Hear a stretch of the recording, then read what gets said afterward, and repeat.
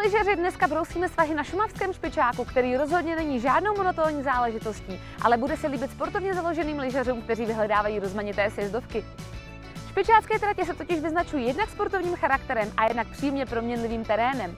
Mojí oblíbenou sjezdovkou je tady červená trať číslo 3, která vás na úvod protáhne zábavným esíčkem, poté zvolní, no a pak přijde pověstný šumavský slalomák, který prověří nejednoho zkušeného lyžaře. Nenadarmo se právě na této sjezdovce pořádají krajské závody v alpských disciplínách. Podobně členitou sjezdovkou je vedlejší červená sjezdovka číslo 2, na které se střídají prudčí padáčky a karovací náměstíčka, kde to můžete krásně pokládat do oblouků. Na špičáku nechybí ani modrá sjezdovka, kterou je tady turistická jednička. Nečekejte ale žádnou placku, tohle je opravdu krásně jezdivá, svižná modrá pista.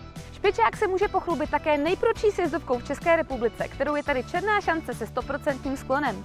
Zatímco její horní část se upravuje, tak prostřední nejprudší zůstává neupravená. To znamená, my jsme si tady dneska dali jízdu v boulích, ovšem tuhle sjezdovku doporučuji až hodně nasněží, protože pak se tady užijete pravý šumavský freeride.